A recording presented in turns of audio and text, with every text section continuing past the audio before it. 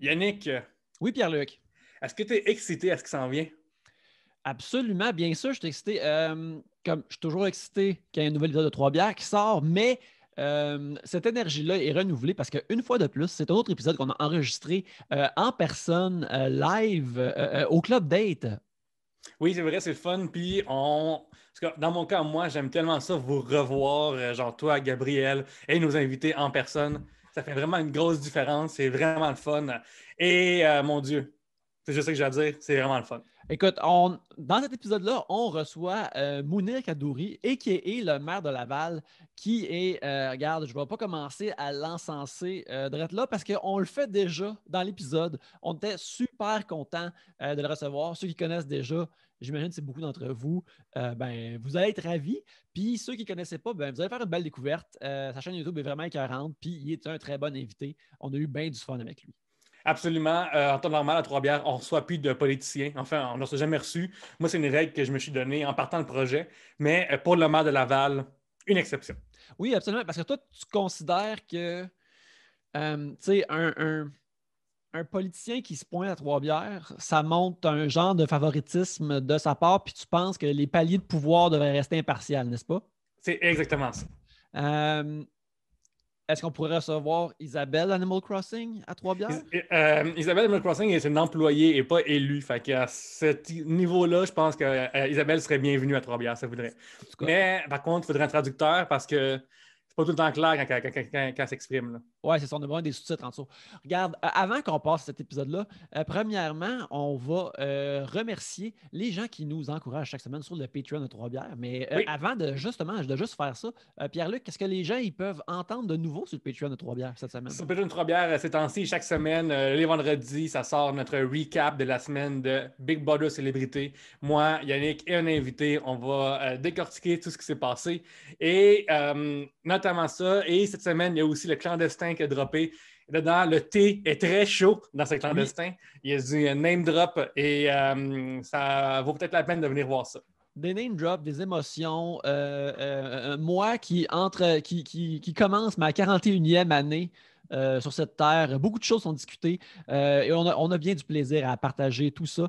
Bien sûr. Nous, on name drop parce que nous, on est game de nommer les gens, c'est pour ça. Ouais, on est game de nommer les gens ici. On n'a pas peur. On n'a pas peur. Euh, fait puis, dire vous, des gens, comprendrez, vous comprendrez ça si vous écoutez Clandestin. euh, puis il y, a ben, il y a des gens que j'ai encore moins peur de nommer, que je suis content de Ben nommer. oui. C'est les gens qui nous encouragent sur Patreon chaque semaine. Alors, un gros merci à Lydia, Joctopus Prime, Matt Faneuf, Anxious and Fabulous, Félix Poisson, Joanie Duval, Gilbert Rousseau, Tom Howell, GD, Aline McCall, Jean Côté, Émile Brabant, Ghislain Duguay, Maxime Cahouette, Martin Brisebois, Alexandre McGrath, Jadosaurus, ainsi que Philippe Marcotte. Alors, un gros merci à ces gens-là. Absolument. Puis euh, pour de vrai, gang, euh, sur les Patreon au mois de mars, on commence déjà à planifier notre mois de mars. On va faire euh, un on regarde et on planifie aussi de faire un nouveau, nouveau segment. Fait que venez voir ça. On n'a pas encore enregistré, on va faire ça bientôt. Absolument. Mais en attendant, passons à cet épisode de Red là. Yes!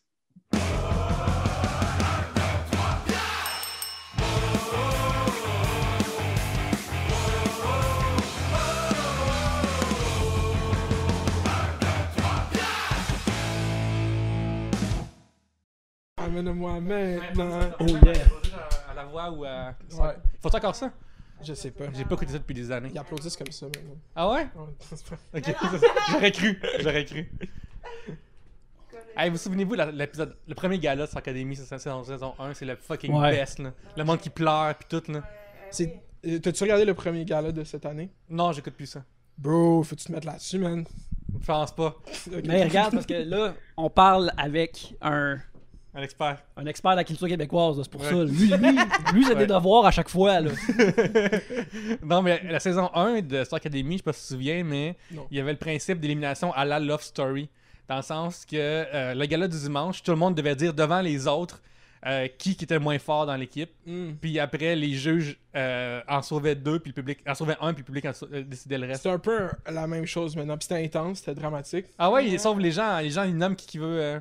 Euh, ben non, ils se- non, ok, le premier gala était mauvais, ils ont mal fait. Mais la deuxième semaine, là, ils ont vraiment mis du monde en danger. Puis là, c'est le public qui vote, Mhm. puis les profs en sauvent un, puis le public en sauve un. Mais c'est-tu les, euh, les candidats qui mettent là, ton Ah non, c'est pas les Ok, candidats. c'est ça, saison 1. oh my god! Ouais, c'est ça, saison Ok, un. J'avais pas compris. Tout le monde pleurait, genre, Ah. comme Ah, si, je m'excuse, Marie-Mé, mais je veux pas être ça. Puis là, c'est Oh, Pascal. Marie-Mé a jamais été en danger, hein. Non, euh, Oh, t'es partie dans la finale des filles. a été- Ben, c'est pour ça qu'elle peut l'idée Big Brother maintenant. Si t'es comme Gold Star, jamais éliminé, jamais éliminé Grosse horreur. tu sais, tu sais, euh, des genre des gays qui font jamais des femmes, ça? euh, ça fait partie de cette terminologie-là. Ok. Ils ont beaucoup de terminologie. Beaucoup de terminologie. Oui, beaucoup de nomenclature. Beaucoup de nomenclature, oui. Re-bienvenue à Trois Bières, l'émission on parle des sujets que vous nous envoyez. Le temps d'une bière ou d'un autre breuvage, le fonctionnement est bien simple. Premièrement, dans ce sac ici, il y a les sujets que vous nous avez envoyés. Quand on en pige un, vous entendez ceci. Lorsqu'on termine d'en parler, vous entendez ça là. Ça se passe plusieurs fois, le temps de votre breuvage. Et c'est ça, Trois Bières, pour discuter de vos sujets cette semaine. Il y a moi-même, Yannick, Pierre-Luc. Gabriel! Et Mounir, Yes! l'honorable maire de Laval est avec nous. Euh, l'honorable. Mounir Kadouri, merci beaucoup euh, d'être venu nous voir. Merci de m'avoir invité, ça fait plaisir. On- On sait que euh, Laval, euh, c'est une démocratie. Mais ce qui me concerne, t'es leur roi. Fait que... Ouais, Ouais. c'est ça, c'est la monarchie. Ouais, Absolument, ça devrait l'être, ouais.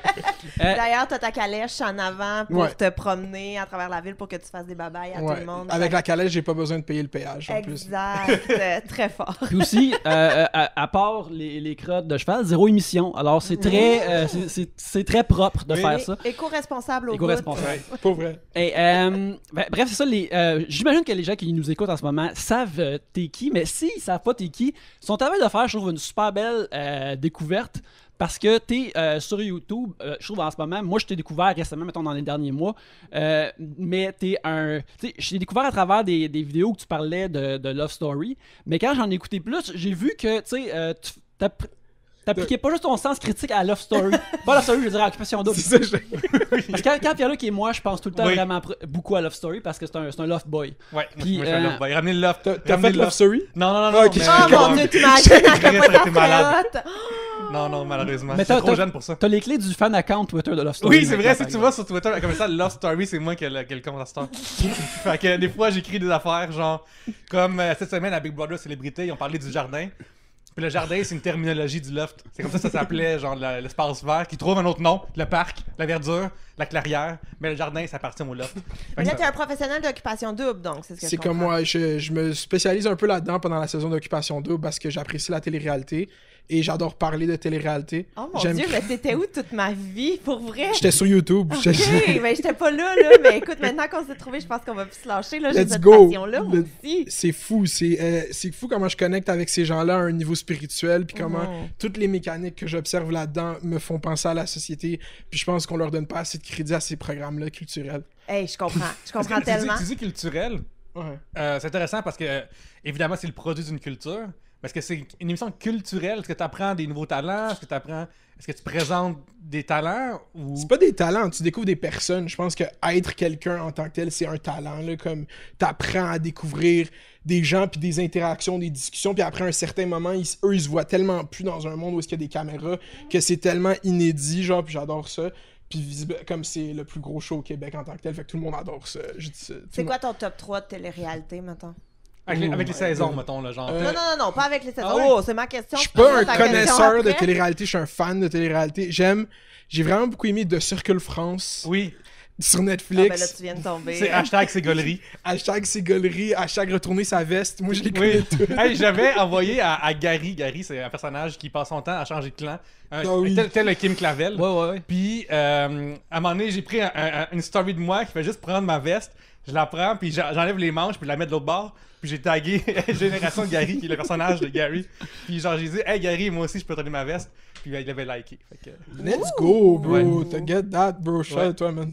ouais, merci, merci. Mais, mais, mais c'est ça, c'est aussi à travers euh, tes vidéos, justement, tu, tu parles de beaucoup d'affaires qui se passent plus at large au Québec. Puis c'est justement, c'est, mettons, des affaires de pop culture, que c'est comme la. la c'est, c'est comme ça que tu ouvres la porte en premier, puis après tu décortiques plein d'affaires. Puis je trouve ça vraiment intéressant. Comme tu sais, récemment, tu as parlé, euh, mettons, juste euh, de, du gentleman qui quitte tout le monde en parle, euh, Danny, Danny Danny, Turcotte. Allez, Turcotte. Oui. J'allais dire Danny Laferrière, mais c'est pas Danny Laferrière. Non, non, grosse. Grosse confusion. Grosse confusion. ben, moi, pas. Toutes les Danny sont pareils pour moi, je vais, je vais là. Euh, Euh, Peut-être que les Tucottes considèrent que ces petites cartes sont des petits romans. ouais, ouais, absolument.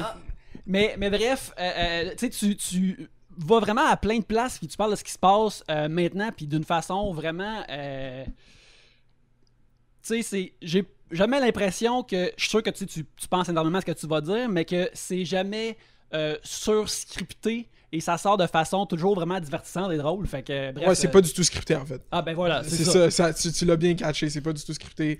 Euh, le seul. Le- moi j'appelle ça scripté, c'est que je fais du montage après. Comme. Mhm. Fait que j'enlève beaucoup de choses forcément, comme pour un vidéo peut-être de, de 12 minutes, je vais parler 19 minutes. Genre, c'est à ce point-là. Fait comme. C'est pas scripté, mais je le scripte après. C'est comme Mhm. ça, je me sens. J'aime pas ça être enfermé par quelque chose que je devrais dire. Genre, surtout quand j'essaie de faire des blagues. Je suis pas bon pour écrire des blagues. Genre, Mhm. j'ai pas, j'ai pas ce talent encore. Peut-être que je vais le développer un jour, mais comme. C'est ça. Fait que t'as bien vu ça, j'ai- j'écris pas dessus. Ok, ben c'est- en tout cas, bref. c'est, euh, Ben, merci pour les beaux mots aussi, hein, c'est tellement gentil. Ah, comme, ben, euh, ça fait plaisir parce que c'est ça, je trouve ça euh, vraiment bon. Fait que c'est ça. Je suis stoked que tu sois là. Ça fait 5 minutes que je dis le même propos. mais tu sais, c'est vrai. C'est vrai. Qu'est-ce que tu veux que je te Je dise? continue un peu à, à t'encenser parce que, mettons, moi, ok. une, une affaire que j'aime, que je retrouve pas dans la culture populaire mainstream québécoise, c'est parler d'affaires qui, moi, m'intéressent. Je trouve que tout le monde parle d'affaires qui m'intéressent pas. Ça, c'est bars. La, la télévision, c'est des célébrités qui font d'autres affaires d'autres célébrités, puis moi, je m'en crisse. Mm. Tandis que toi, ce qui est le fun, c'est que quand que tu as le point de vue de, de- de moi, de consommateur, sur les influenceurs, puis tu sais, comme t'es comme, hey, ben, Cloutier, peux-tu faire un post qui est pas commandité, s'il te plaît? puis ça, je trouve ça super intéressant parce que c'est une affaire que moi aussi j'ai remarqué, même je l'aime beaucoup. Mais c'est là, en fait, comme, c'est bien bizarre que tout le monde, genre, il n'y a, pas de- y a pas de critique de contenu puis de médias que moi je consomme, puis qui est adapté au Québec, fait que t'en fais partie, puis ça, c'est cool. Merci beaucoup. C'est ça, c'est ça l'idée un peu du fait. Je, comme, euh, je, me- pas je me voyais pas, mais comme j'ai tout le temps écouté la, la culture sur YouTube. J'ai suivi beaucoup de youtubeurs américains, beaucoup de podcasteurs américains avant, puis je l'ai je l'ai jamais vu au Québec. Puis dans ma tête, je voulais jamais faire du contenu au Québec parce que c'est ça que j'écoutais comme des youtubeurs anglophones, comme plein de choses en même. Puis à un moment donné, j'ai réalisé que profondément, j'étais tellement québécois, puis que c'était ça que je voulais faire au Québec. Fait comme j'ai fait, puis ça a résonné avec du monde comme, puis c'est. C'est fly, man. Ça va s'en venir, bro. Bientôt, on va, on va tout dire exactement qu'est-ce qu'on pense. Moi, j'ai hâte que tu puisses faire à un moment donné une vidéo YouTube, que tu rank, genre dans des tier list, les, euh, les, les apologies de tout le monde qui ont fait des choses. Les quoi? Les, les, les vidéos d'excuses des. Ah, euh, les YouTube- apologies, c'est une Ouais. bonne idée. Ouais, il y a Ouais. des youtubeurs américains qui ont Moi, fait c'est ça. mon fucking On jam. n'est pas encore rendu à assez de vidéos d'apology au Québec. Quand il va avoir une bonne liste, genre Ouais. 12, genre. Mais là, t'as déjà Kevin Marquis, t'avais James dans le temps, tu vas en avoir une coupe déjà que tu peux ranker. J'appelle pas ça des vidéos d'excuses. là. Ben, tu sais, c'est- leur tentative, justement. Puis là, tu peux en parler puis aller ranker. Des posts, peut-être des posts. Il y a plus de posts d'excuses que Québec, de ouais. screenshots de- de- beaucoup, de- beaucoup de captures de l'application Note. Oui. L'application Note shine vraiment quand c'est le temps d'avouer que tu as été un criminel sexuel sans vraiment le dire. Mais à l'école des influenceurs, quand il faut que tu fasses la bibliographie, on te dit c'est en format note Apple qu'il faut que tu l'écrives. Ah, ben. C'est ça qu'ils disent pas aux gens. là. Je suis là pour vous donner un peu d'informations. C'est gentil. Ah, voilà, J'aime ça, que tu sois diplômé, en fait. c'est parce ça, que tu vois, ouais. ça met de la crédibilité. Excellent. Hey, je vais y aller, je vais piger un, un- un sujet de Ben oui. là, qui, euh, dont beaucoup viennent de notre nouveau groupe euh, Facebook. Le sac à sujet oui. où on Oh, s'amuse. ok. On s'amuse. Hey, euh, moi, je veux juste dire, là, le sac à sujet, je suis dessus, mais je partage rien, puis je commente rien. Je suis désolée, c'est juste que je le sais. Que la journée où je vais commencer, je mets le doigt dans l'engrenage, puis comme ma vie va être sur pause, mais je lis tout, mais Ouais. je commente rien parce que comme, je peux tu pas. regardes les images du Wario. Weekend. Ah, ouais. ça là, ça je suis pas d'accord. Moi non plus, Ça, je suis pas d'accord. Genre, c'est Yannick qui, euh, qui. Parce que j'ai commencé à partir des, Non, des, non, des- non. des hashtags pour suggérer aux gens de, tu sais, de, de- de poster, pour engager les gens. Puis j'ai commencé le hashtag Wario Weekend. Tu tu postes des photos de Wario quand c'est le week-end. C'est fucking bon. Ça devient juste ça. Le groupe devient juste ça. Là, après, il cherche des sujets, puis là, faut que tu, faut que tu scrolles Mais- pour voir. Mais Mathieu, Mathieu Poirier, il a, pris un screenshot de, de, l'émission de, de, de Marina, puis il a mis le nez de Wario, puis la, cas- la casquette dessus, puis il a appelé ça Warina, puis ça. Là, on a Ah, peut-être créé un monstre, mais moi, je trouve ça Mm. c'était Ouais, c'est comme le Toadette qui manquait de Wario, là. Ça, j'aime ça. Euh, Cathy Mador nous- est est là avec un- un- une question tout de même pas pire, pas pire sérieuse, pas pire Ok. deep, euh, qui nous demande euh, est-ce que vous avez comme une, une valeur personnelle qui vous tient à cœur, mais que vous êtes capable de voir que elle- ça a évolué depuis des années, genre quelque chose qui est vraiment important pour vous depuis une couple d'années, mais là tu peux voir aussi que tu as peut-être changé ton fusil d'épaule face à ça, ou c'est peut-être pas nécessairement une valeur personnelle, ou c'est quelque chose que tu crois ou que tu trouves qui est vraiment euh, important. là, Ben, je vais commencer. Mm. Euh, parce que c'est pas une valeur, mais j'ai écrit euh, sur Balcourbe, euh, qui est un site web qui de sport, beaucoup, beaucoup sur la lutte. Je suis allé au Royal Rumble en 2019, je suis allé à Mania en 2012, genre je tripe sa lutte, puis à cette heure, esti que je m'en crisse.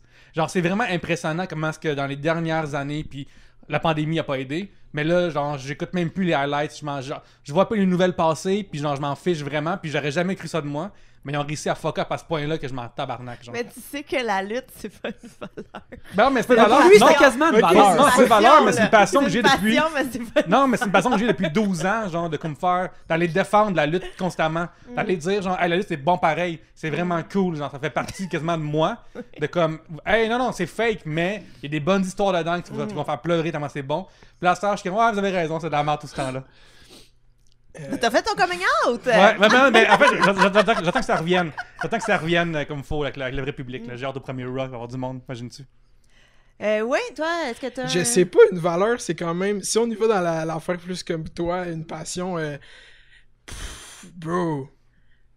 J'ai un blanc, man. Ok, non, j'en ai une bonne qui est vraiment plus sérieuse. Quand j'étais jeune, puis que je voulais faire. Je voulais travailler comme. euh, J'étudiais pour travailler en informatique.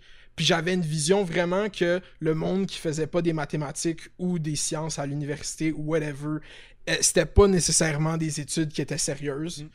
Puis ça, j'avais réalisé que c'était moi qui avais internalisé que c'est ça que je voulais faire dans la vie. Puis qui rejetait que genre, genre, je disais au monde comme non, moi je veux étudier en maths, en sciences, tu vas pas en maths forte, blablabla. Puis là après, j'ai réalisé que non, je voulais juste vraiment faire ces programmes d'études-là. Puis que j'aurais aimé ça aller en cinéma au cégep, puis toutes ces choses-là. Mais je m'étais comme build une carapace sur le fait que genre j'aimais les maths, puis tout. Puis c'est ça que je voulais faire. Fait que ça, ça a changé. Comme quand j'ai fini le cégep l'université, j'ai réalisé que j'adorais ça, puis c'est ça que je voulais faire. J'ai une question pour toi Wow. parce que j'ai aussi passé à travers ça, ce processus-là euh, d'être ancien actuaire, puis de faire hey, les maths, puis genre aller dans, au cégep, puis voir le monde en art ou en sociaux qui s'en calissent, puis ont pas de maths, puis on dirait qu'ils. Ouais, nous, ça, les exactement. artistes! Trop Ouais. cool! Dans le temps, nous, on était submergés de travaux, puis on a l'impression que. Tu sais, je me souviens, donné, en Ah ouais? français, au cégep, je me souviens, à un moment donné, il y avait un cours de français qu'on mélangeait genre artiste et genre en sciences. Mm. Puis euh, le devoir, c'était de la prof, venez parler quoi en français pendant 5 minutes? C'est ce que vous voulez? C'est ça le devoir. Puis je me souviens, il y a un gars qui est venu, puis il arrive avec un paquet d'œufs, euh, d'œufs, puis il est comme. J'avais écrit un texte pour venir vous parler, mais là, hier, ma blonde m'a laissé. Fait que moi, j'ai envie de lancer des œufs à la porte pendant 5 minutes en, en parlant de ma vie. Fait que euh, ça, je vais faire. Puis là, la prof a dit, ben, tu vas se ramasser après. Il a dit, ouais. Fait que, euh, elle fait, ok, go. Puis je me suis en fait, comme, est-ce que t'es lazy de pas avoir travaillé. Puis tu sais, à cette heure, avec mon, mon âme d'aujourd'hui, je suis comme, ah, quand même gutsy, quand Ouais. même game de sortir en dehors de la boîte, tu sais. Mais dans le temps, j'étais comme, hey, la consigne, c'est écrire un texte, mais en parler, tabarnak. Puis, je trouvais ça vraiment comme des fois quand ils sortaient de, ces contextes-là, je trouvais qu'ils trichaient ou euh, prennent des, des raccourcis alors qu'à l'inverse, c'est plus courageux de, de défier certaines. Puis c'est mieux faire le travail qu'on te demande de faire, là, de Ouais. rajouter une sauce créative, là, comme euh, exactement. Ouais, absolument. Wow. Puis as-tu l'impression que lorsque tu avais cette espèce de. Moi, moi c'est du mépris, là, carrément, là, je peux l'exprimer euh, sous une forme de mépris. Euh, as-tu l'impression aussi que c'est parce que t'es comme Oh my god, je peux pas être comme eux autres, là. Il y a comme une partie. C'est comme genre les, les homophobes qui sont comme. Ah, Non, les- c'était pas ça, c'était plus. Moi, j'aimais ça aussi. Je me cachais pas que j'aimais ça, l'art, puis le cinéma, puis tout. Mais je me disais, je vais pas faire ça dans la vie, je vais faire des maths. Puis ça, ça vient aussi de mon background dans quoi j'ai grandi. Mon père, c'est un prof de maths. Genre, comme les maths, c'est vraiment important. J'ai tout le temps été bon en maths. Comme, c'était vraiment important, les maths. Puis comme, j'étais juste, je pensais que dans la vie, genre, fallait que t'aies un job qui va te faire assurément de l'argent. Puis tout, c'était plus. J'avais pas de mépris en tant que tel. J'adorais ça profondément. Je checkais tout le temps la télé, je checkais tout le temps YouTube. Mais c'était pas. euh, C'était pas une job. c'est pour tu ça, ouais, c'est ça, exactement. C'est plus culturel aussi qu'autre chose dans ma famille aussi, comme en tant que tel. Mm. Yeah, man. Ah ouais. Moi, j'en ai deux, en fait, qui sont des réponses sérieuses aussi, là. Mais euh, moi, c'est euh, la loyauté.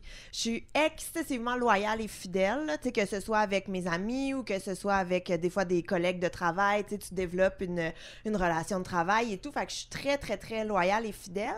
Mais des fois, ça se revire contre moi parce que, tu sais, une amitié, ben, c'est pas parce qu'on se connaît depuis qu'on a 14 ans que t'es une bonne personne à avoir dans ma vie, tu sais. Il y a un certain moment où, ben oui, on est des amis, mais là, on vieillit, on change, euh, nos centres d'intérêt peuvent changer, nos vies peuvent prendre euh, des tournants différents. Fait que je sais que j'ai gardé dans ma vie des gens plus longtemps que j'aurais dû.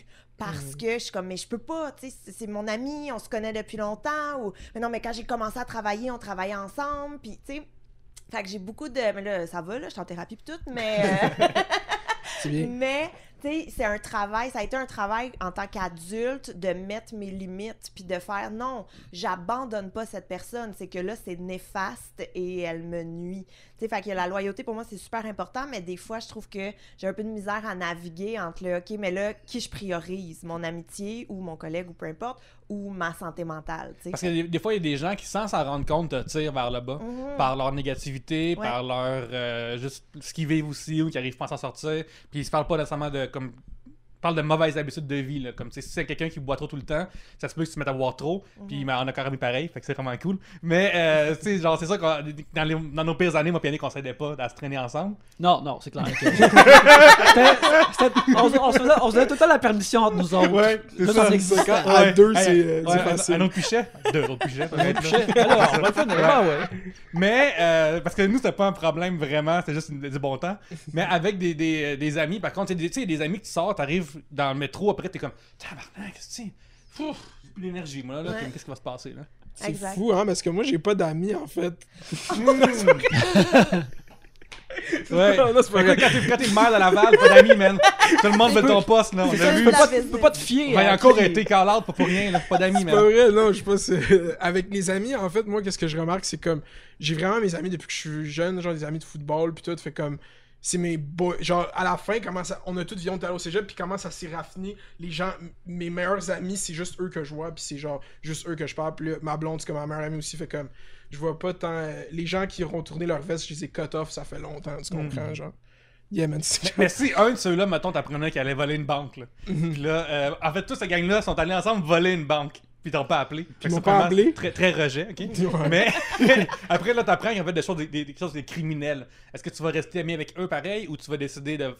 Ah, Ça dépend s'ils se font pogner, pour vrai. Là. Si je peux si je peux get un peu sur le cop de la banque, je vais, Oui. get, je vais get un peu sur le cop de la ouais. Puis là, voler une banque. c'est- Ouais, c'est- Ben, c'est parce que tu dis ça de même, euh, il y a beaucoup de gens qui volent des banques pour vrai euh, de, de nos jours, euh, qui pètent des guiches. Je sais pas si vous êtes familier avec les gens. Comme euh, c'est pas si pas commun que ça avoir quelqu'un dans son cercle qui a déjà volé une banque. Non? Oui, il y, a- sais il y a il y a un documentaire sur le. J'ai peut-être pas de gros sel. À, à- à- euh, à Télé-Québec, il y, a- il y avait un documentaire sur le vol d'identité. Euh, Puis, à travers des, des différentes affaires qui parlent de vol d'identité, il avait utilisé le vol d'identité pour faire comme pour cloner des cartes de guichet dans le fond. Puis, c'est ça, voler de l'argent des guichets le plus possible. Puis, c'est tu sais, c'est essentiellement quelqu'un qui. euh, qui marche comme un circuit à travers la ville, puis que ça stack de cartes, puis il est comme, ok, là, faut que j'aille là, puis mettons, je sais que je peux sortir 400, je sors 400 là, de là, de là, de là, de là, de là.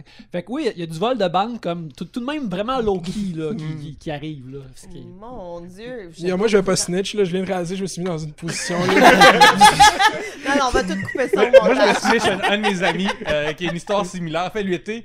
euh, en fait, cette année, euh, tantôt j'ai parlé de lutte, j'ai regardé le Rumble à distance et lui, cet ami-là, qui est encore mon ami, euh, hébergeait l'événement.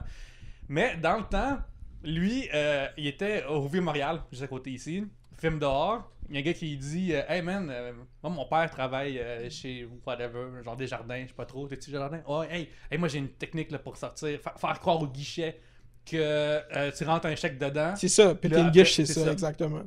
Fait que là, lui, il est comme, oh, ouais, puis tu penses que ça marche, puis comme, ben, man, je- j'avais tout le temps, là. Fait que, tu sais, donne-moi ta carte, je vais faire le truc, puis genre, je vais te le donner après ce cash-là. Fait que ce que ce que ce criminel fait, c'est qu'il prend ta carte de guichet, il va euh, faire un faux dépôt, puis après, il retire un montant que tu viens de déposer qui n'existe pas, qui est, qui est pas gelé, essentiellement. Fait qu'il a fait seulement déposer, fait qu'il dépose zéro, il retire de l'argent, fait que c'est genre faux et illégal. Et il a donné une petite partie de ça à mon ami. Et ensuite, mon ami, il a fait Ah non, je me suis fait frauder. Fait que là, la caisse l'appelle, puis comme Hey man, tu t'es fait frauder, viens nous voir. Puis là, la caisse l'a renvoyé comme client. Ils ont dit T'es trop stupide. on ne veut pas comme client, man. Voici le fond de ton cash, puis genre, voici un chèque, on le veut même plus avec nous autres. Ah, je savais même pas que tu pouvais te faire renvoyer. Ouais, moi non plus. Puis quand t'es populaire, genre, t'es un membre, t'es un actionnaire, genre, t'es un actionnaire, puis ils font Wow. comme. Non, man, non, non, t'es trop stupide. Non, va, va, va, te faire, va te faire cambrioler ailleurs. Là. Wow, mon Dieu. Ben, je suis quand même impressionnée. Je suis quand même Ouais. impressionnée de Ça, ça. ça doit être gênant. Il doit avoir un prix, comme ton ami, il doit avoir comme une médaille, quelque chose. hein? je pense a ouais, ouais, la médaille de la honte, je pense. C'est c'est comme un, un chèque noir, c'est comme dans Mario Party, genre, tu comme- perds de l'argent en la- en l'ayant, genre, au lieu de- comme une étoile noire qui t'enlève une étoile. C'est comme si des jardins te bloquaient sur Instagram, genre. Oh shit, ouais! Mais juste ta, ta, ouais, ta banque bloque ton, ton Instagram, t'es comme Chris. Tu peux plus partager le beau contenu de ma Ouais. banque en ligne. Et ça, ça, ça, ça fait mal. Ça Ça fait mal en l'air niaiseux, ok, mais euh, tu sais, mettons, euh, des fois on reçoit des infolettes de la banque, là, puis on s'en crisse toutes. Mais si tu savais que la banque t'avait bloqué de son bord à elle, je serais comme Chris. Ça me ferait chier, genre. Ça me ferait chier d'avoir. problème? Exactement. Ça se pensait. Ouais, ça c'est. Les banques, c'est tellement, causent tellement d'affaires comme négatives en ce moment, de savoir qu'ils sont comme, non, toi, on veut plus rien à faire avec toi, là. C'est- comme, je veux te donner de l'argent un peu, ils sont comme, non. non. Non, désolé. On pense même pas que c'est du vrai argent. là, Ouais. Euh, euh, moi, une affaire qui a changé, je te dirais, dans les dernières années, euh, c'est il y a une époque où euh, j'étais vraiment zéro compétitif dans la vie, puis je trouvais que c'était euh, sain, puis que c'est comme, ah ben, tu sais, tu. Quand tu veux trop gagner, ça t'amène à des places malsaines, des affaires comme ça. Fait que moi, j'attendais pas je m'attendais pas à grand chose dans la vie. À un certain niveau, j'étais juste content avec ce que j'avais. Fait que, mettons, quand euh, je travaillais, quand j'avais des, des, jobs de bureau, des affaires comme ça, quand, euh, j'essayais pas comme. euh, j'avais des jobs d'illustration, de dessin dans les jeux vidéo. Fait que là, je suis comme, ah, cool, c'est toujours ça que je voulais faire quand j'étais jeune. Juste me rendre là, c'était correct. J'essayais pas, j'aspirais pas à aller plus loin ou plus haut là-dedans. Puis, c'est dans les dernières années, j'ai commencé à faire, c'est quoi. euh, à 40 ans, là, puis là, t'es comme, t'as pas espéré grand-chose dans la vie. Faudrait peut-être essayer d'aller un petit peu plus loin puis de vouloir plus. Fait que ça, c'est dans, les dernières années, j'ai, j'ai comme changé un peu plus vers ça. Puis, euh, euh, Mais j'ai une question. C'est quoi la différence entre, mettons, un manque d'ambition puis un manque de compétitivité? Parce que pour moi, c'est pas la même chose, puis tu sembles... ben, j'ai comme l'impression que les deux sont. moi, j'ai l'impression que je lis euh, les, les deux euh, parce que euh, c'est comme une fin de vouloir plus puis de réussir. Puis je pense, aussi- j'associe la satisfaction de la réussite à ces deux affaires-là. Peut-être qu'ils sont pas connectés tant que ça dans le Je pense fond, mais- que l'ambition, c'est plus par rapport à toi-même, puis la compétitivité, on l'associe tout le temps par rapport aux autres. Ouais. Fait que ça fait en sorte que ces deux choses-là sont, sont moins bien vues quand tu dis je suis compétitif, genre moi je veux compétitionner. La nature de compétitionner, ça veut dire qu'il faut que tu sois pas contre quelqu'un. Comme. Fait que comme je pense, euh, ouais, yeah man, mais Mais peut-être que les deux s'entremêlent aussi, tu sais, dans le sens que plus tu as de l'ambition, plus, plus forcément il y aura de la compétition parce que tout le monde vise le même objectif, pas nécessairement le même objectif, mais tu sais, mettons, un poste au sein d'une compagnie, tu as l'ambition de l'avoir, puis forcément il y a la compétition parce qu'il y en a plusieurs qui le visent. mais c'est le modèle capitaliste, c'est vraiment Exactement, comme c'est ce que j'allais dire. Merci. mais c'est bon en même temps. Ben ouais, je pense que oui. Fait que là, j'ai- j'ai j'ai essayé de faire des. Ben, j'ai fait des changements dans la vie, puis essayer d'aller à d'autres places, puis de, de, de, de chercher des affaires dans la vie. Et, euh, mais là, l'affaire qui me pogne vraiment, c'est que comme, ah, j'ai. Ce switch-là a été flippé, je l'ai pendant vraiment tard. Ou un- pas trop tard. Ben, je vais le savoir sur mon lit de mort si c'est trop tard ou non. mais euh, euh, tard dans la vie. Puis là, euh, je suis comme, ah, je pense souvent comme, ah, si ça m'avait pogné, mettons, à 30 ou même à 25, là, je serais comme Ah yes, j'aurais, j'aurais essayé plus ou j'avais plus l'énergie ou plus le temps libre d'essayer des affaires. Puis, euh, bref, euh, c'est les verres qui sont dans mon cerveau constamment maintenant et puis j'essaie de dealer avec euh, le possible. Maintenant que j'ai changé. Mais mettons, là, c'est quoi tes. qu'est-ce que tu vises, qu'est-ce que tu aspires, comment tu es compétitif? Moi, dans ma tête, tu es comme la personne la plus smooth ever. là. Tu es Ben- tout le temps, en fait, tu es tout le temps le, la, la balance entre Pierre-Luc et moi. je Ouais, t'es comme C'est le- toujours le- T'es euh, comme dans une prise de courant, t'es ground, genre. Ouais. Il y a comme moi, puis Gabriel, puis les deux, on est opposés en général, puis t'es toi qui est genre neutre. C'est comme, ah, tu sais, si vous voulez. Maintenant, je le vois. Maintenant que tu l'as dit, là, j'ai analysé un peu la dynamique de votre trio. Ouais. je, je commence à le saisir. Ben, Ben, c'est vrai que Pierre-Luc et moi, on est tout le temps à l'opposé. Tout Exactement. le temps. Tout le temps, tout le temps. là. Cependant, je pense que sur la base, on est à bonne place, fait que ça fait qu'on s'entend bien. Ouais, exact. Mais c'est fou. À chaque fois, puis il y a même pas d'animosité. C'est juste comme ça. Ben non, ben oui. Yannick, c'est ça. Ouais. Parfait, c'est ça. On un écoute invité à trois bières, je veux pas, ou elle, elle veut pas, Yannick. Ah, mais si elle ne veut pas, on devrait pas l'avoir. Ah, ok, c'est vrai, bonne idée. C'est le médiateur. Exactement. Mais, euh, euh, ouais, mais ça, c'est, c'est, c'est vraiment intense. C'est plus de Ah, j'aurais dû euh, essayer de faire ça dans la vie. Ou c'est des affaires que je veux. Là, j'ai, tu sais, euh, dans les dernières années, je, j'essaye de faire, d'écrire de la télévision, puis de créer des projets de la fiction à TV, tu sais. Puis là, des fois, tu t'assis, puis tu vois une enfant qui est pas bonne, puis t'es comme, eh, Chris.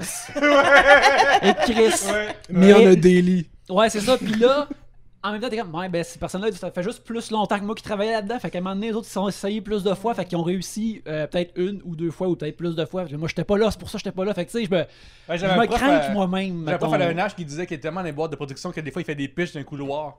Tu sais, genre, nous autres, on fait des pitches, on travaille, on fait des one-pager, two-pager, on travaille vraiment, genre, une narrative importante, puis tout. Lui, comme, ah, imagine si, euh, genre, c'est un plombier qui a pas de l'eau. Ah, bonne idée, allez travailler ça. Voici une option, voici, voici 200$ piastres et travailler là-dessus. Ben oui, big. C'est ça la culture, c'est du c'est juste ça.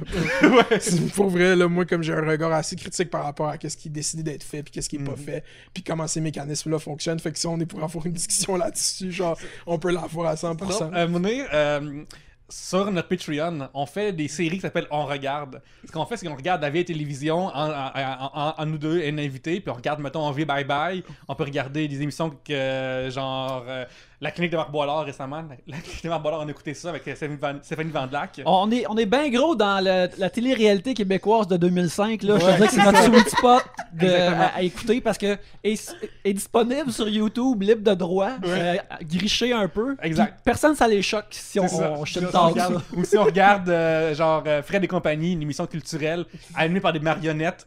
Où est-ce que des marionnettes étaient reporters, ils étaient anchorman, puis elle a interviewé Stéphane Rousseau. Puis Stéphane Rousseau parlait avec Bref, euh, des shit créatifs pareils. Toi, y a-tu des shit Comment, comment est-ce que tu vois la télévision québécoise évoluer? Parce qu'on n'a pas la même, n'a pas, n'est pas parti la même place.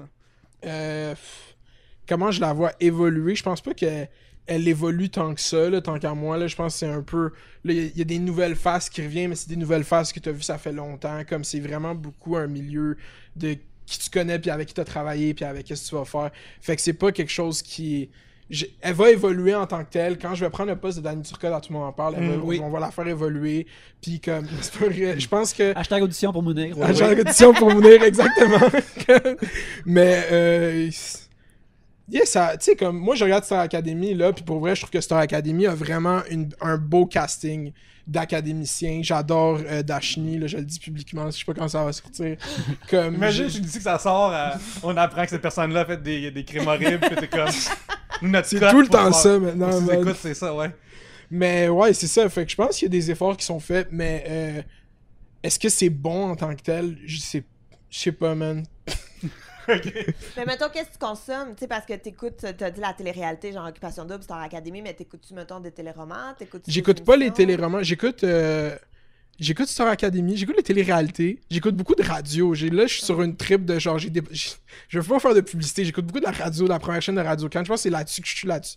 En ce moment, genre c'est accessible puis genre c'est vraiment c'est c'est divertissant, là. genre j'aime ça à consommer beaucoup d'informations, j'écoute beaucoup de podcasts mais à la télé, qu'est-ce que j'écoute? J'écoute tellement de télé, je réalise pas que j'écoute parce que j'ai réussi non, je vais pas dire comment j'écoute la télé, OK? J'allais snitch sur moi-même là. Non, ben, moi, je pense que. Regarde, Snitches get Stitches. C'est ça. Mais au Québec, c'est gratuit. Genre, c'est pas à l'hôpital. Fait que c'est pas grave, c'est des Stitches. Fait que. euh, Snitch toi même, vas-y. Euh, yo, il y a une émission à Canal V, bro, où est-ce qu'elle voit pas le gars avec qui elle a une date. Hmm. C'est amour à l'aveugle? Oui. Oui. C'est ça, hein? Ça, c'est quand même bon, man. Ça, c'est-tu. une- euh, euh, moi, je l'ai pas écouté. J'ai j'ai pas le câble ni rien. Mais euh, sur Netflix, ils ont sorti Love is Blind. Que c'était justement du monde qui allait en date à travers, genre, dans des, dans des petits cocons avec- un genre de. Mais non, c'est pas ça pantoute. ok. Ça, ça a pas autant de budget, puis c'est, c'est- Non, non, c'est vraiment pas ça. C'est 100% pas ça. Ok. C'est c'est une date ça. Zoom. Mais d'où ma caméra fermée. C'est c'est juste ça. C'est un appel téléphonique, finalement, mais sur Hmm. l'ordinateur. Ben, dans le temps, à Canal Vie, il y avait le téléphone animé par euh, Joël Legendre. Que c'était juste du monde qui joue du téléphone, là. C'est, c'est, puis genre, c'est pas, c'est pas comme il y, a, il y a 15 ans, là. C'est assez genre de, de, de, de, de- de 2010s, là. Oh mon dieu. Mais, euh, mais ouais, je sais pas, je me souviens plus qu'on parlait de la télé. Ouais, de la télé. Euh, bro, je la vois évoluer. Hier, je la vois évoluer, mais moi, je suis vraiment concentré live sur euh, YouTube, puis faire comme mes affaires, puis je critique la télé parce que je trouve ça drôle, critiquer la télé, puis un jour, je je pense que je vais être à la télé, j'ambitionne à être dans la télé. Fait comme, on va me critiquer, je vais me critiquer. J'adore ça. Euh, Oh, ça, ça serait cool. le là. Critiqueception. euh, Si tu critiques en premier, personne ne peut rien faire. après. c'est Hey, la première personne ever à la télévision à aimer la critique. Genre, c'est un miracle, là. C'est Wow. fou, ça. Puis c'est quoi les balados que t'écoutes? Je suis curieuse. J'écoute pas des balados, j'écoute juste la chaîne en direct, genre. Fait comme je finis par écouter des émissions, j'écoute euh, euh, euh, Culture Club, j'écoute euh, j'essaie d'écouter La soirée est encore jeune, je dis bien j'essaie.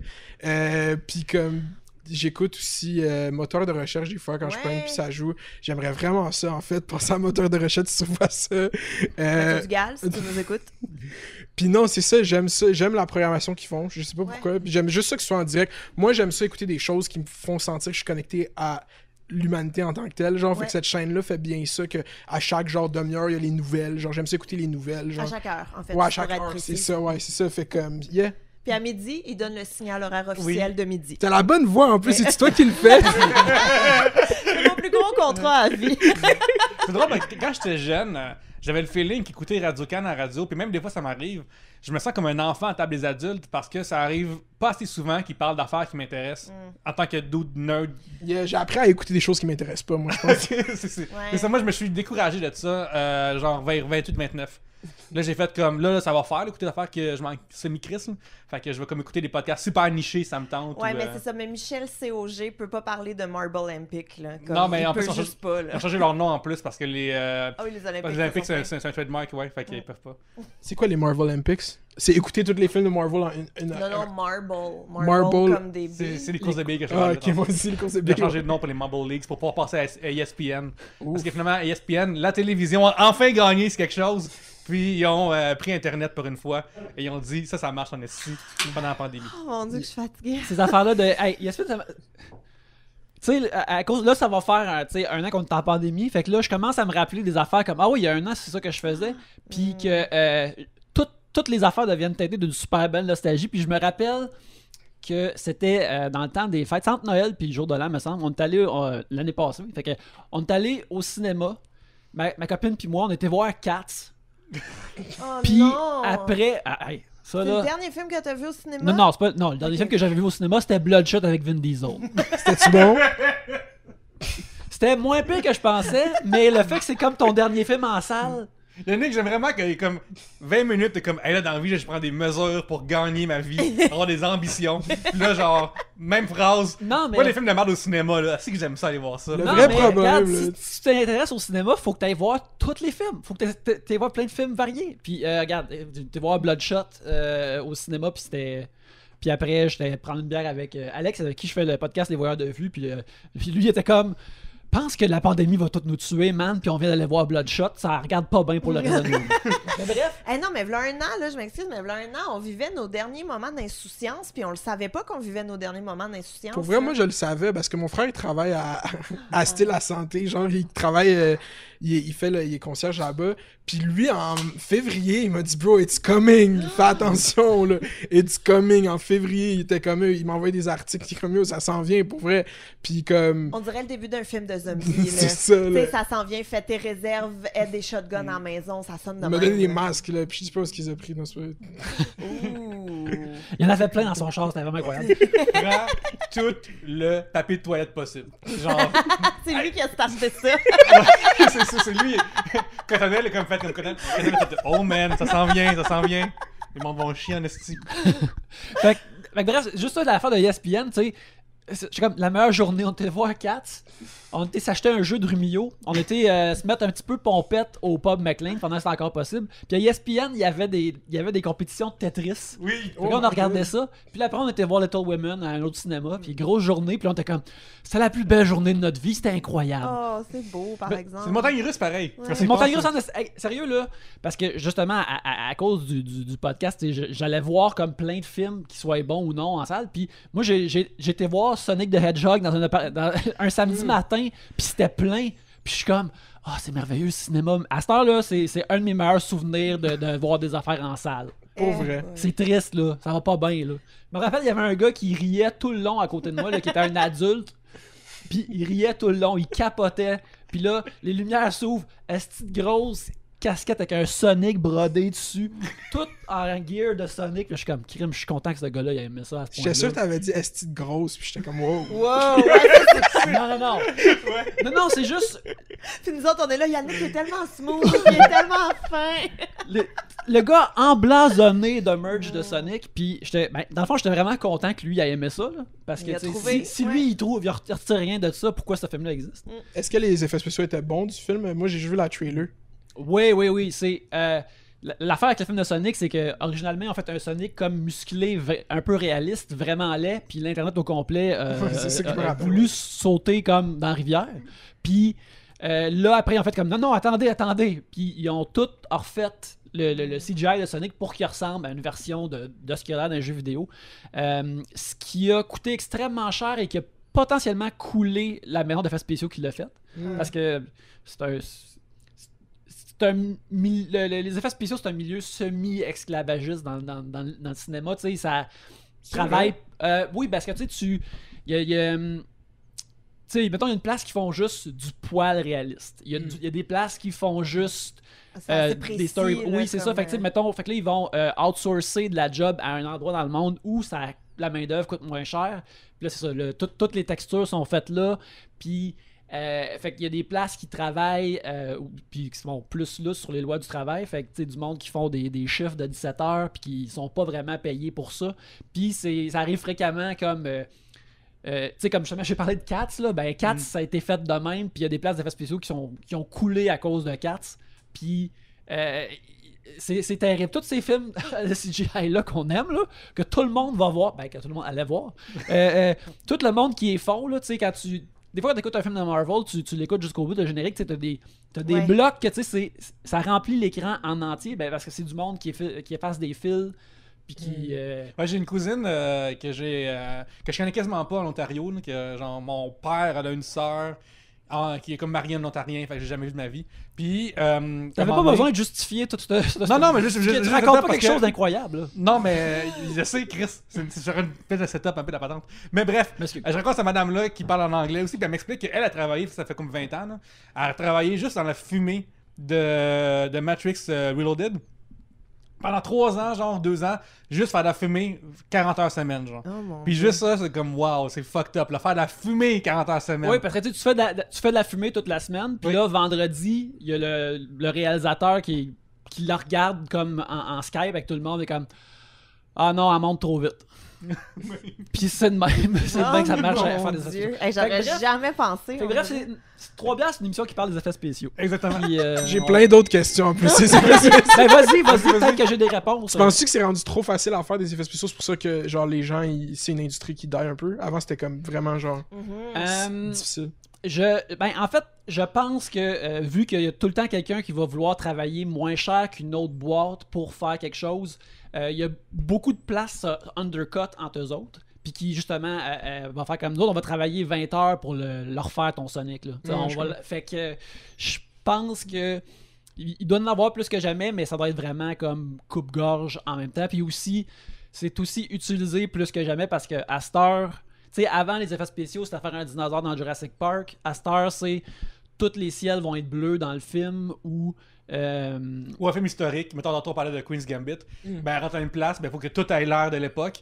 Puis c'est clair qu'ils vont entre payer euh, plein de monde puis trouver la fourniture puis tout, ben ils vont comme en rajouter après. Puis il faut pas que ça paraisse que genre dans une shot en arrière, ben que le monsieur il a une moustache puis toute cette affaire là qui paraissent pas là. ouais, c'est ça. Il ou- a vraiment partout. Tu sais, c'est. euh, ah, il y, a- il y a. Mettons, Queen's Gambit, ça fait quoi, 50, 60, des années 50, 60 Ouais, c'est 60. ça? Ah, il y, a un- il y a un char de maintenant qui est dans le background, ben là, il faut l'effacer, puis Ouais. mettre dans affaires. Tu sais, ça, c'est devenu super commun, fait que toutes les Mais pourquoi d'abord ils font pas tout en CGI? Tu sais, pourquoi tout est pas des dessins C'est- animés? C'est que- ben, c'est pour les gros blockbusters, c'est quasiment tout là. Ben c'est ouais, que- pour, vrai, c'est- pour c'est les quasiment Avengers tout, là, t'as déjà vu tourner Avengers, comment ils tournent ça? Oui, C'est absolument. ça, ils sont C'est genre dans une salle bleue, là, Ouais. comme c'est juste ça. Tout le monde est habillé en bleu. puis, Robert Downey Jr., là, il, a pas porté un morceau de Iron Man depuis euh, Iron Man 2, je te dirais. Ça, c'est fucked up, man. C'est il, tellement il est juste en jogging. Il est juste en jogging, puis là, ils, mettent ça par-dessus. Puis, euh, puis là, il y a aussi une affaire qui, qui est- que le monde n'en savent plus, y a- il y, a du maquillage numérique. Là. Comme Mm.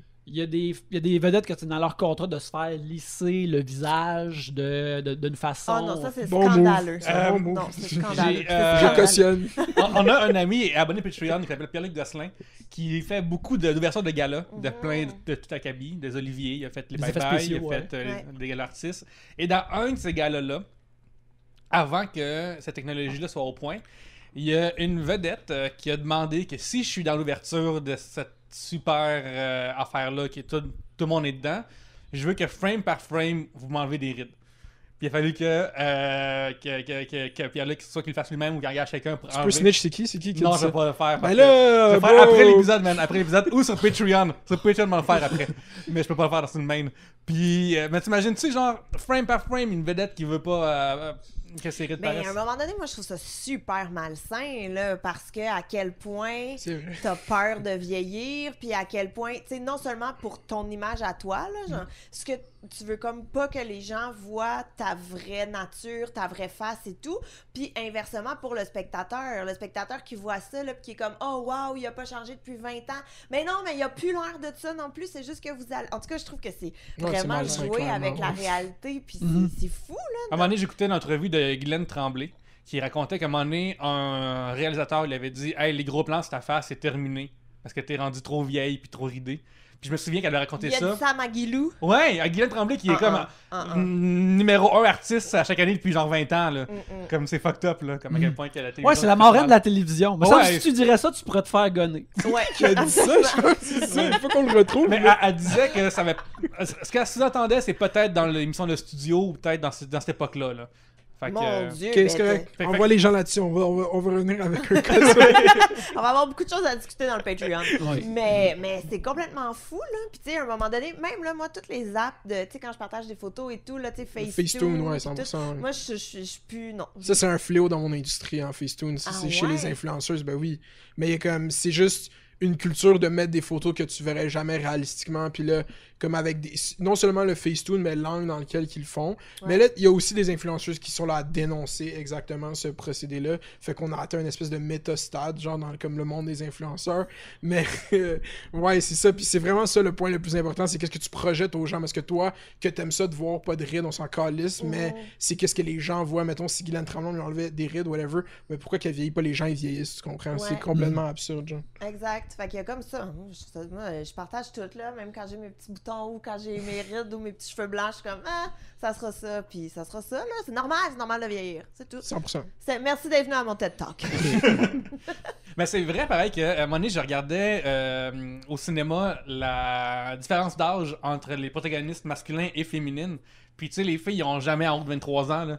Puis pourtant, ça peut être des George Clooney puis des Brad Pitt qui ont genre en haut de 40, 50. Il n'y a qu'un petit peu d'espoir pour ces jamais. que- Mais genre, mais je trouvais ça comme tellement bizarre. de- Ma, ma Ah, blonde a, six- comme 5-6 ans de moins que moi, puis c'est ça qui ça va me contenter de- d'un écart d'âge. Ouais. Mais je me souviens, comme, c'est vraiment bizarre comment est-ce que. Tu sais, genre, si une femme a 30 ans au Québec, elle peut jouer des personnages de grand-mère ou de sorcière. C'est vraiment tout ce qui lui reste, là. Ouais. Mais il disait, je, pense que c'est surtout à Hollywood, là, où, euh, à partir, dans, mettons, de 30 à 60 ans, là, les femmes ont vraiment de la misère à trouver des rôles parce que, justement, c'est soit que tu fais comme une jeune ou bien une mère de famille, grand-mère qui a du vécu. Mais tu sais que le entre-deux, c'est c'est encore euh, touché. Ben, mais là, à ce temps, ça va être une, une- une série où est-ce qu'elle joue un personnage edgy sur le câble, genre, ou sur Netflix. Ça, ça va être ça que ça va arriver, sinon, elle va être la mère d'un. Elle va être la, la- la tante de Spider-Man. C'est c'est comme. C'est C'est c'est la, mère d'un Gen Z, exactement. La tante de Spider-Man n'arrête pas de, de, de- de rajeunir, ça n'a pas de sens, là. Ma tante May, là, dans le premier avec Tobey Maguire, c'est une grand-mère. Ouais. Puis à, à ça, c'est rendu. Puis là, c'est Marissa Tomei. Ben, Marissa Tomei, ben, parce que, tu sais. Parce qu'il est au second. Ben, moi, je, je peux faire un cas argumentaire pour dire c'est comme. Il est au second. Il a genre 16 ans Mm. dans les nouveaux Spider-Man. Puis quand Tobey Maguire faisait Spider-Man, il avait comme 25, 26 ans. Il était comme candidat au genre doctorat, le gars. Là. Ouais, ouais. Comme- Mais c'est 10 ans plus tard, c'est pas comme 45, là. Ben, il y a des gens qui vieillissent pas très bien pour. Ça, c'est- Mais, tu sais, regarde. May, quand, que- quand son mari meurt, ça, c'est c'est un gros choc, là, malgré tout. Mais tu sais, regarde, euh, si. euh, L'affaire, c'est que. Justement, pour cette, cette- cette jeune tante là sexy qui est pas. euh, qui est- si Tony Stark est comme sexy à son âge, puis elle, elle est comme supposée avoir son âge, faut qu'elle ait le droit d'être sexy elle aussi, là. Tu sais, c'est- c'est comme. Non, quand la femme est plus vieille, là, oublie ça. Mm. Y a plus rien qui se passe. C'est un, c'est un épouvantail maintenant, là, tu sais. Je veux plus un sujet, les amis, on sait. Allons-y. euh, C'est peut-être le dernier, peut-être le dernier. Peut-être le dernier, ben on approche de la, on approche de la fin, on approche de la fin. Ça va vite, hein? Such a good time. Ben oui, ah ben pareillement, pareillement. Euh, Marie-Pierre Lebel euh, nous demande quel est le plus mauvais conseil que vous ayez reçu ou que vous avez donné vous-même? Moi, je suis strong là-dessus. Là. Moi, je- Moi, j'en ai plein. Là. Attends, on va exposer du monde, ok? Euh, le plus émotif, c'est ma prof de français en secondaire 5 qui, à la fin de notre secondaire, nous fait un espèce de dernier cours émotif où est-ce qu'elle passe un petit moment par élève pour nous faire un message émotif sur qu'est-ce qu'elle nous a vu évoluer puis qu'est-ce qu'elle nous souhaite dans le futur. Puis, puis là, elle fait OK, par qui? Je comme. Puis non, en fait, c'est même meilleur que ça. Il y a un groupe avant nous qui vient de vivre ça, là, puis ils sortent, puis ils braillent, genre. C'est comme, ok, elle va nous dire des affaires qui vont changer nos vies, genre. Puis là, moi, je rentre, puis là, par qui je commence, puis moi, j'étais comme un clown dans la classe. Moi, comme, Mounir, Mounir, Mounir. Je suis comme, ok. Elle commence par moi, puis elle fait, je me regarder straight dans les yeux, puis elle me dit, Mounir, un jour, là, il va falloir que t'arrêtes d'être Mounir, ok? Le monde, là, ils te connaissent pas où est-ce que tu t'en vas, genre. OK? Fait que là, t'agis ici, là, tout le monde te connaît, tout le monde sait, ah, c'est Mounir, ah, il est drôle, ah, c'est Mounir, mais arrête d'être Mounir. Oh mon dieu, c'est ça le C'est ça, elle m'a, elle m'a dit ça straight up. Elle a- puis après, elle a passé le reste du cours à louanger tous les élèves. Puis à- quand que dans son cours, je coulais au début, j'étais allé à tous les appuis, j'ai fini par passer mon épreuve uniforme. Genre, j'ai fait du bon travail sur moi. Puis c'est ça qu'elle m'a dit. Yeah, c'est ça, man. C'est le pire conseil que j'ai reçu. Arrête d'être mounir. Quand je suis Oh. trop profondément mounir, genre. Oh mon dieu. ça t'arrive des fois de faire des erreurs dans la rue puis être comme, ah, si avait raison? Moi, je le sais que après ça, genre, je serais comme, ah, tabarnak, peut-être traverser. J'attends depuis longtemps de parler d'elle sur une tribune publique. Je l'ai fait à deux reprises. Dès que j'ai un micro, j'essaie de parler d'elle. Désolé, madame, ça va pas marcher. Ah, mais oui, c'est vrai que c'est pas un très bon conseil. Là. On, va, on va te le donner. T'as le droit. T'as le droit. Vous autres, les gars? Euh, moi, je me rappelle quand je. euh, euh, quand je, je, je grandissais dans mon Abitibi natal, je me faisais. Il y a des profs qui me disaient, hors des profs d'art plastique, qui me disaient que le dessin allait pas nécessairement m'amener des affaires dans la vie. Puis il fallait que je pense comme à quelque chose de plus sérieux. Mais c'est pas. Ça, là, je, je, vais- je fais une parenthèse, là, mais euh, on devrait canceller tout ça. Tous les adultes qui disent à des enfants ou des ados d'arrêter de rêver, là, c'est... La... Non, toi, t'as clairement fini de rêver depuis 15 ans. Essaye pas de projeter ça sur moi, là. Comme, je trouve que c'est la pire chose au monde, parce que aujourd'hui, t'es où? T'es en train de faire du dessin, tu sais, il y a comme tout ça. Toi, t'es juste, t'as juste continué d'être mounir, puis t'es là en ce moment. Tu sais, tu comprends? Il est maire de Laval! C'est c'est ça! Non, mais c'est ridicule. Tu peux pas arrêter de comme encourager la personne, laisser-la aller vivre ses trucs. Puis au pire, si ça marche pas, ça sera à elle-même de décider que ça marche pas. Puis ça sera à elle-même de décider que c'est assez. Tu sais, je veux dire, moi, jamais dans ma vie, je vais empêcher mes enfants de faire quoi que ce soit. Là. Donc, mon plus jeune, mon, mon plus vieux qui dessine puis qui tripe sur le dessin et tout, ben, on l'encourage. Tu sais, on y a acheté une table à dessin. Sais-tu qu'est-ce qu'il faut que tu apprennes? Faut que tu apprennes comment il, comment il peut faire de l'argent avec ça. Enfin, ça, c'est une affaire. Non, mais tu sais, quand. Ça, c'est une affaire que j'aurais écouté des adultes qui disent, qui me diraient Ah, faudrait peut-être que tu t'intéresses, genre, un peu aux affaires si tu veux comprendre comment faire de l'argent avec ta carrière de dessin. Comment Ça, c'est c'est- 100%. qui, qui tu vas rechercher comme, tu sais, c'est une affaire que j'ai parlé souvent, tu sais, même quand j'étais en graphisme au cégep, je trouvais que c'est une affaire qui nous ont pas tant Ben oui, ça, que- je suis que d'accord dans tous les métiers culturels. La, la grosse partie de ça, c'est la business de ça. Des contrats, des papiers comme juste des factures, facturer des choses. genre, tout ça, moi, c'est genre, j'ai aucune idée. puis J'ai même pas étudié là-dedans, mais imagine t'étudies là-dedans puis t'en parles pas. Ah ben, le cas de l'humour, a- ça n'a jamais été abordé. Non, là. c'est Puis je crois que c'est super important, là, comme un peu de comptabilité. Ben, pas comme... ta valeur, Ta valeur quoi, oui, 100%. exact. Mais non, c'est ça. Puis tu sais, moi, mettons, quand je suis sortie de l'école de l'humour, j'étais un peu, tu sais, gênée, là, un peu comme n'importe qui, de parler de cash puis tout. Puis à un moment donné, j'ai fait, hey, non, tu sais quoi, non. Je me suis fait une liste de prix, là, tu sais, personnel, de moi, c'est ça, c'est ça que je charge. Puis là, quand quelqu'un me contactait, j'étais comme, c'est ça. Puis c'est ça ou c'est rien. Mais ce sera rien parfait. À la prochaine, bonne chance pour vous trouver quelqu'un. Know your worth. Yeah, Ouais. man. Hein, parce qu'à un moment donné, puis souvent, je trouve qu'on est gêné de parler d'argent, tu sais, mais non, là, euh, c'est gentil là, que tu m'appelles puis que tu as 25$ piastres pour un contrat de 8 heures, mais non, sais, ça fonctionnera pas. Fait que, euh, mais c'est pas Surtout dans que- les milieux culturels où est-ce qu'on te vend l'idée que genre t'es chanceux de pouvoir faire quelque chose ou juste Mhm. d'être là ou juste que quelqu'un va t'écouter fait qu'on profite aussi de ça sur ta passion qu'est-ce qui te passionne de faire puis on fait genre ah non mais tu sais, tu peux le faire pour ce prix là genre tu vas faire de quoi que t'aimes tu sais C'est ça qui m'a vraiment choqué d'Olivier Primo, genre, dans toute cette histoire-là. Genre, je suis encore en crise parce que, tu sais, mettons, moi, j'écris sur Urbania, j'écris pour ADSG Vidéo, avant j'écris j'écris pour Balcourbe, j'écris pour le web, puis ça fait partie de mes revenus. C'est pas des plus gros revenus sur la Terre, mais c'est pareil des revenus qui existent. ouais mais c'est comme mais juste pour dire ma position là-dessus Ouais. c'est comme t'as-tu déjà lu le blog d'Olivier Primo? Non, c'est la bullshit, là, c'est la c'est merde. là. une ligne Ouais, je sais. l'article C'est c'est ça. que genre moi c'est la pire annonce de job que j'ai vu de ma vie Ouais. mais en tant que tel si tu payes quelqu'un 5$ l'article pour aller sur des blogs puis juste link une vidéo Mhm. puis une phrase je trouve ça word Ok, je, vais te dropper euh, du, euh, du, euh, du shit que j'ai, qui va au conditionnel, ok? Quelqu'un m'aurait dit en privé que peut-être que ça serait genre des jeunes qui n'ont pas encore atteint l'âge de majorité qui travaillent, qui, qui accepteraient ce genre de deal-là. Parce que, oh yeah, je travaille pour quelqu'un qui est comme connu, tout ça, fait que ça serait nice Ouais. si j'ai 16 ans puis genre je veux me faire connaître. Mais- Peut-être qu'on m'a dit ça, c'est peut-être pas arrivé, peut-être que c'est arrivé, peut-être que Robert t'as pas casse d'humour puis que. Puis ce après qu'on invente des choses à chaque ça. fois qu'on parle. Mais euh, ce que je dis, c'est que probablement. Fait que là, ça devient juste. Je trouve que peu importe ce que tu fais, que ton contenu soit dans la marde ou pas, ça doit être du temps qui doit être rémunéré, point, à sa juste valeur. Puis tu peux pas faire du bon contenu sur Internet, ça exige la recherche, de l'écriture, ça exige la réécriture, ça exige la, la mise en forme. Juste ça, c'est, ça, ça peut pas être 5$ de l'heure, ça n'a pas de sens. Non, euh, c'est ce qu'il y a. Puis, comment est-ce qu'ils vendaient comme Hey, voici mon deal de l'heure, gang! C'est tellement stupide. hein. Ouais. Puis genre aussi, j'ai pas fini encore. Euh, puis aussi, hey, je vous exige d'en faire au moins un par jour là. Fuck you man pour ce prix-là. J'étais vraiment tabarnak. À un moment donné, on va réaliser que ce gars-là, il est comme. qu'est-ce Comment ça il est connu? Genre, tu vois, ça, ça, me- ça, ça me gosse. Comment ça, ce gars-là il est Ben, connu? c'est Ben, ça, parce qu'il était juge à XOXO. Ouais, c'est ça. C'est Ben- sa super bonne poutine qui vend à dépanneur. Ouais. Olivier Primo a une histoire très complexe que je connais très bien. Je peux, je peux la raconter. Mais vas-y, Ben oui, mon Dieu, tellement.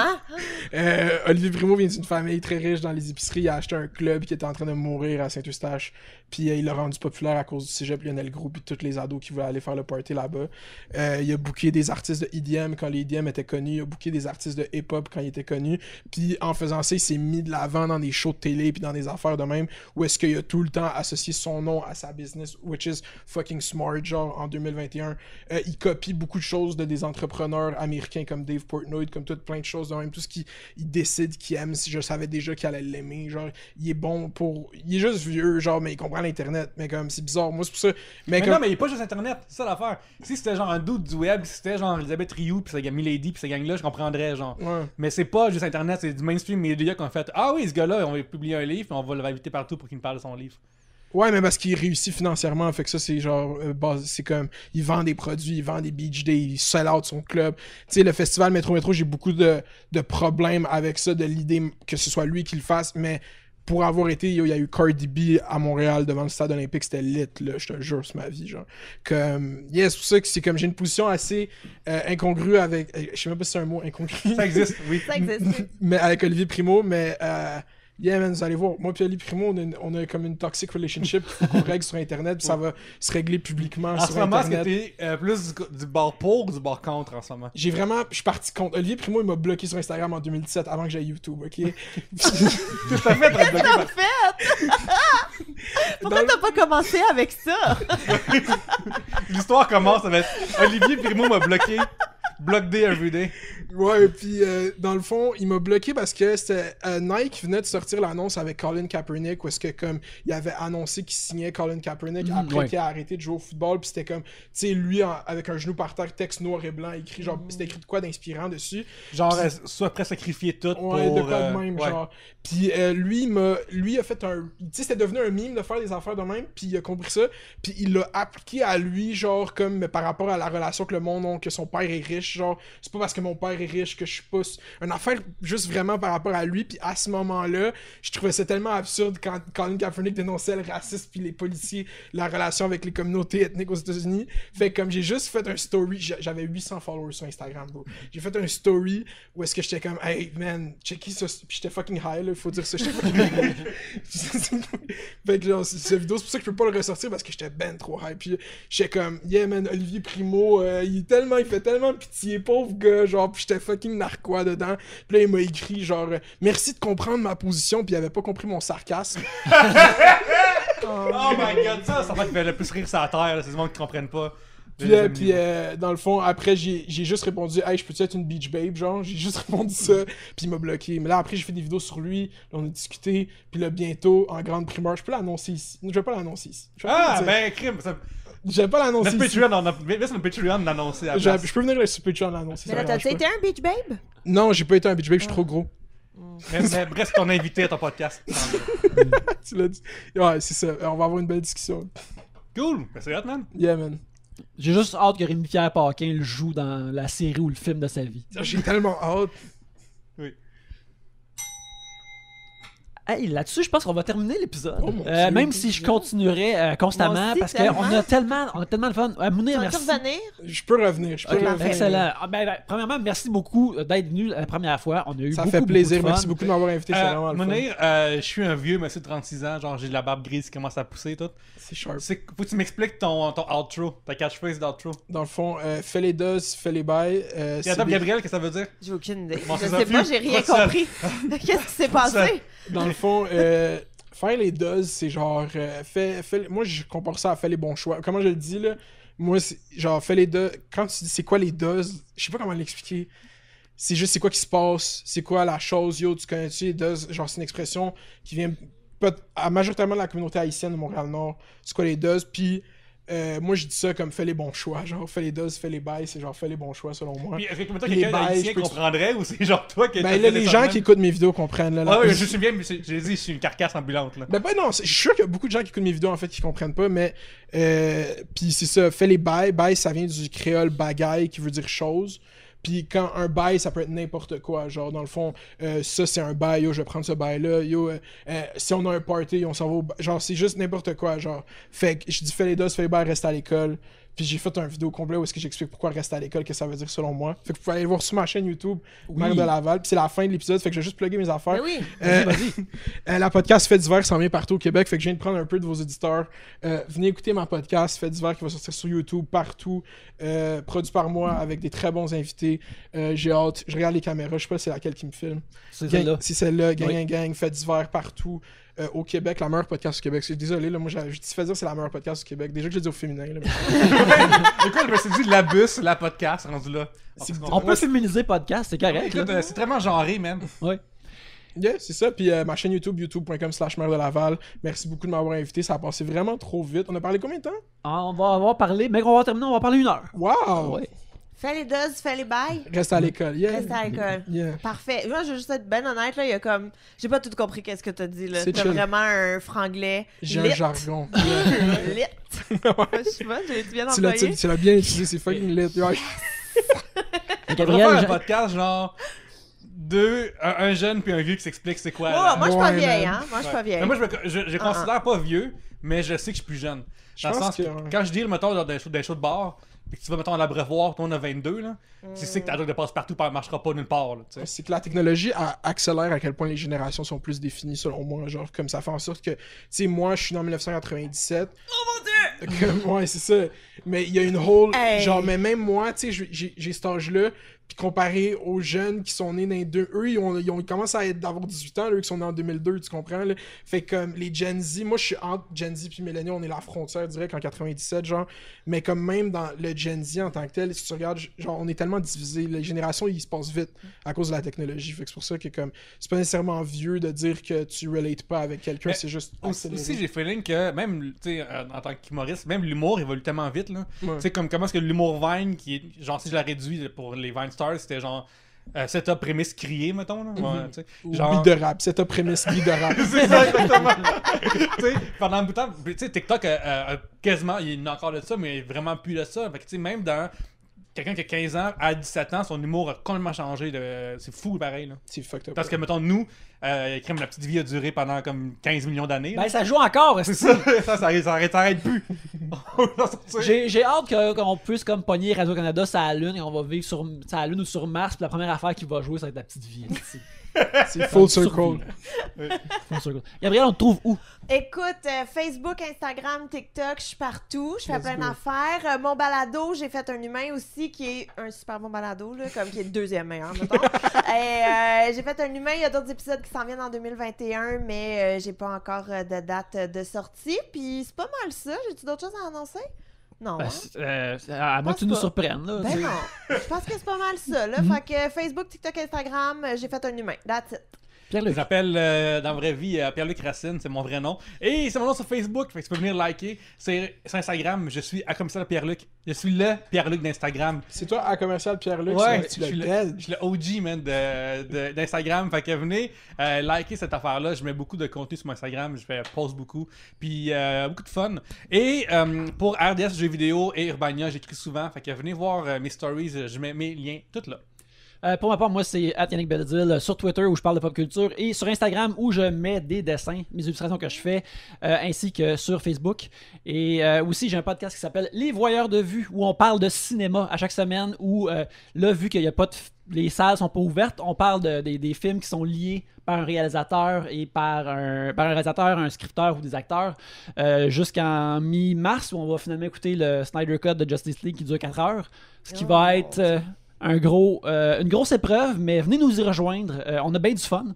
Et J'ai oublié de plugger mes lives Instagram euh, avec Oui, oui, oui. euh, un invité où est-ce que je refais des tests du mois, des revues filles d'aujourd'hui qui datent des années 90. Ouh, qui t'a eu récemment? Hey, écoute, euh, j'ai fait avec Kat Levac, Virginie Fortin, Véronique Cloutier. Bientôt, je vais faire avec Julie de OD. Et euh, qui d'autre? J'en ai fait plein, plein, plein avec Lisanne Nadeau aussi. J'en ai fait plein, Vanessa Duchel. Euh, tout est disponible dans mon IGTV sur Instagram. J'ai aussi oublié de dire que récemment, j'ai creusé dans la culture québécoise du pick-up artist sur le web et j'ai assisté à une conférence d'un pick-up artist et j'ai euh, noté ses 10 pires phrases et ils vont être sur Urbania bientôt, fait que euh, venez voir ça. Je me rappelle, tu me partager des affaires de ça. Oui, oui, oui, j'ai bon. j'ai eu des articles bon. de... Oh my god. J'envoie ça. Une, une- conférence Zoom de pick-up artist, là, c'est. Regarde, il y a du monde qui ont besoin de ça, mais c'est c'est rough à regarder pareil. Euh, euh, et bien sûr, on remercie le Club Date de nous héberger physiquement pour qu'on puisse euh, filmer. Et on remercie Tribute Games de nous héberger électroniquement. Ils font des beaux jeux comme Mercenary Kings ainsi que Flint Hook ou Curses and Chaos qui sont disponibles sur la Nintendo Switch sur laquelle j'ai travaillé. C'est des jeux faits à Montréal. Allez acheter ça, c'est le fun. Mais en attendant, merci beaucoup de nous avoir écoutés. Et sur ce, à la prochaine bière. Bye. Bye. Faites-les. Bye. Fait- Non, non, je garde juste ça pour Ah, ma c'est chance. ça. Ok, regarde. Monsieur ici arrive pas à être cool. C'est comme moi, je suis compétitif dès le début, là, j'ai compris.